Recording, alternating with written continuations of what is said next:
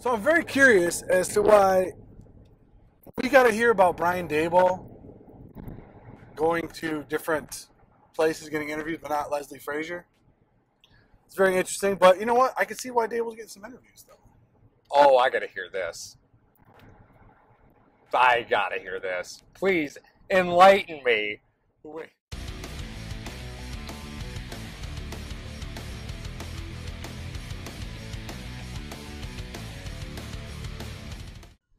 Please enlighten me. I I I gotta hear this. There have been times throughout the year, like we both came into the year hot on Daboll. Like, let, dude, you got to fix this, fix this, fix that.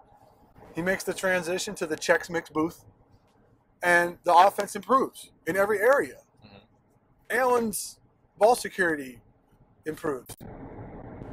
Debatable.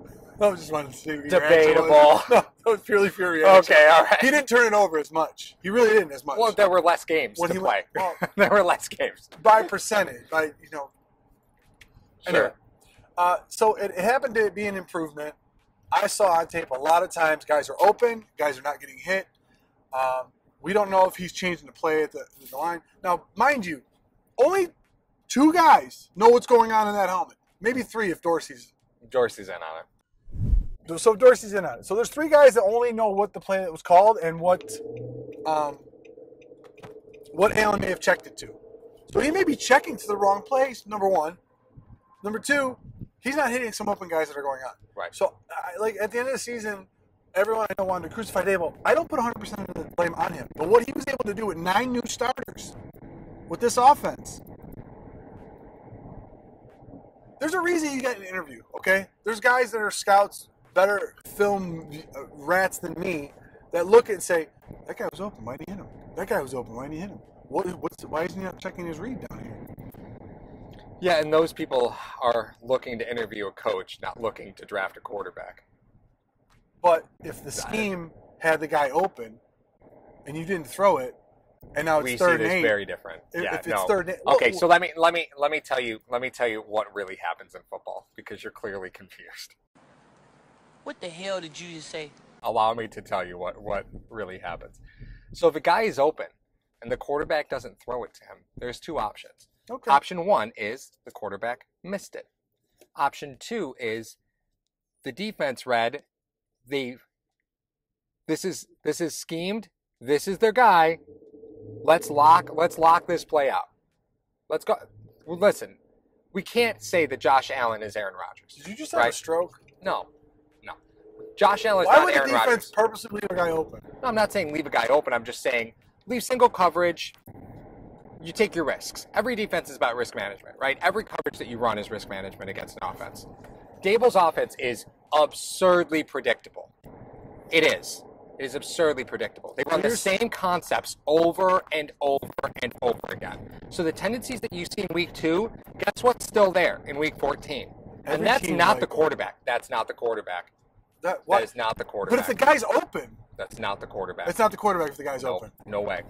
you're outside your gorge. That's not the quarterback. And here's why. Yes, it's- No, here's why. It's If you call a play into me and I don't hit the open guy, is it your fault? No, it's not. dude, do you think that do you think the guys that are open are Allen's first or second reads? Are you crazy? The guys that they're leaving open are on the back. You're telling me he didn't have enough time. Now you're blaming the offensive line. No, I'm not. I'm saying that they're on the back. It's on the back side of the play. If you have a quarterback, a young quarterback that you know is going to go read one, read two, panic mode. Like any quarterback, or read one, read 2 Not Mhm. panic mode, but read one, read two. I'm just saying. You're saying Allen should have ran more. Is what you're saying? No, I'm not saying Allen should have Okay, ran more. then What, what I'm saying is saying? Allen's. I'm what I'm saying is Daboll's system is is so elementary at times with their route concepts because I know there's film guys out there that will say Al, Daboll is at an elite level with designing routes. He's not.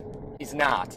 He's not an elite Okay, level play That's designer. we're, we're getting a little bit off topic. we are here. not getting I- off topic. No, I Daboll's, Daboll's offense is elementary and predictable. I can understand your not liking some of the, the concepts, but I'm talking about simply that there were guys open that Allen missed. I'm not putting that on Brian Daboll. you, have, You are. you have to put it. He's open. How are you putting that on him? the fact that you're jumping is is really. I put cruise control on ten minutes ago because I knew this was going to happen. So here's here's why I'm not putting that on Allen, right? If it's if Allen just as just as an example, right? there's more to the coaching staff than just Daboll, right? You have your entire Well, offensive coaching Okay, staff, I'm with you right? so far. you have you have McDermott, you have Dorsey, you have Daboll, Okay. right? Of those, Daboll reports to McDermott. Dorsey report, reports to Daboll. We Right. think Likely, likely. likely. All right. So we're in a likely scenario here. okay. Um, so if Allen is consistently missing open players on certain play concepts, because the Bills only run a certain number of packages, right? It's not it's not a wide open offense. They only run a really small number of packages as it stands. So if you're consistently seeing guys open, the fact that the ball isn't going their way, if if, if that's a that's a coordinator issue. That's not a player issue. You can't sit there for 17 weeks and tell the quarterback, listen, the last four times we've run this play on the backside, this guy's been wide open. Don't you can't miss that. The quarterback at some point is going to throw an interception on the backside, and everybody's going to say, "What the what?" What are you talking about? There's systematic problems that are going to happen, and the problem is it's the coordinator. The coordinator is the problem. It's not the quarterback. I'm not absolving him for some of the plays that he called this year. You want to call those gadget plays inside the 10, I want to choke him. Okay? You want to call a very long fourth and one, you call a running play with your quarterback up the middle. I have a problem with some of his play calls. I'm not saying he's the perfect play caller. All right? The only guy who's even come close to being what I I deem as the top guy The of play calling is Andy Reid, and he is the worst clock management guy ever. That's a fact. Okay. So That that being said, I'm not saying that it was 100% on Brian Daboll. If they're elementary concepts and guys are still getting open and you're still not hitting them, obviously, if you throw your scenario, if you throw an interception on the backside when you throw it all the time, I understand that. And I also, I'll get on Daboll for not tying routes and concepts together. Mhm. Why you run this play in the first quarter is because you want to run something off of it in the third. I understand that. However, there were serious gaps in Allen's game that should not be placed on Daboll. But that's his job. Oh, really?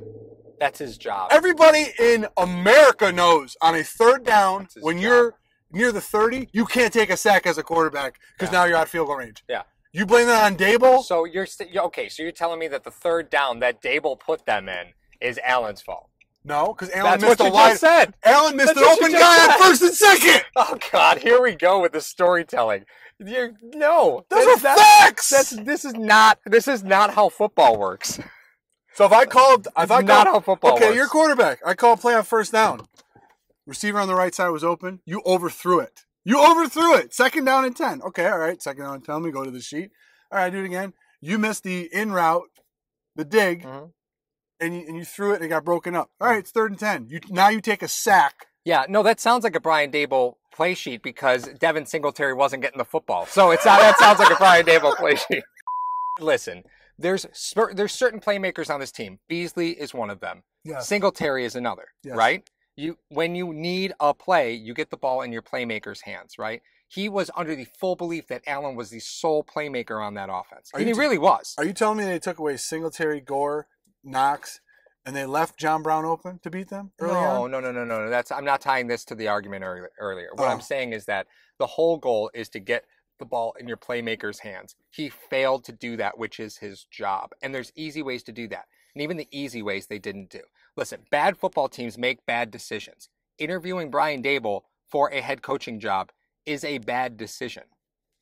It's the only time on God's green earth he's had a job for two years in a row as an offensive coordinator. And now he's getting head coaching sniffs. With the same team, but he's had jobs in a row with coordinators. Oh yeah, and that's gone the great. It's gone great.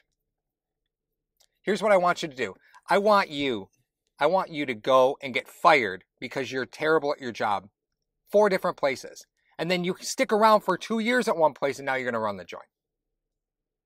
Does that sound like a would that, is that somebody you would hire?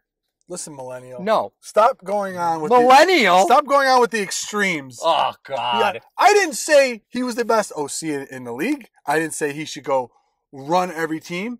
I'm saying I can understand why he's getting head coaching opportunities. Joe Judge got a job. okay? If you hmm. give me the choice of Pat Shurmur versus Joe Judge, I'm taking I'm Shurmur. Pat Shurmur. Six days over. a week and twice on Sunday. Hundred times over. That's not even really a question. You son of a biscuit. You got me so fired up right now. What a jerk. Daboll. Daboll's the problem, bro. I hate to tell it. I hate I hate to be the one I hate to be the bearer of bad news. Well, if he gets a head coaching job in Cleveland, we'll figure that out next year.